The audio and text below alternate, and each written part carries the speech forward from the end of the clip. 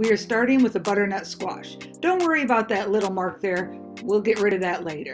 We are going to start by see how I'm rocking the squash that I'm holding on to.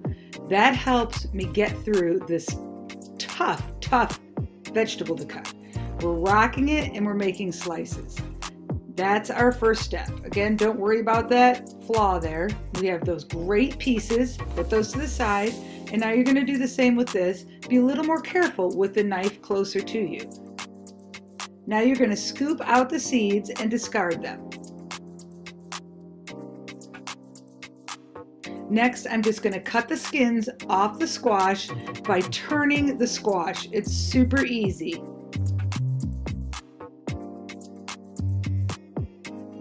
And you'll do the same things for the ones that have the hole in the middle where all the seeds were.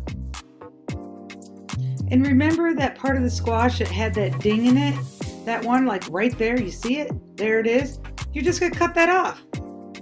And this last piece, the end piece, you can either discard it or cut at an angle to get the um, skin off of it. And then you're gonna have to make one more slice. There we go and then get that end off. It's a little dangerous, be careful, or just toss that part. Oh, you've worked so hard to get to this point, and now the fun part, cubing it. It's so easy. Just cut it one way, switch it, cut it the other way. You're gonna do the same thing with these pieces. Oh, you couldn't get a better cut. And let me tell you, if you were to buy cube squash at the grocery store, it costs a fortune. Absolutely beautiful. Click on the videos to learn how to make a great squash and black bean taco and learn how to heat tortillas the right way.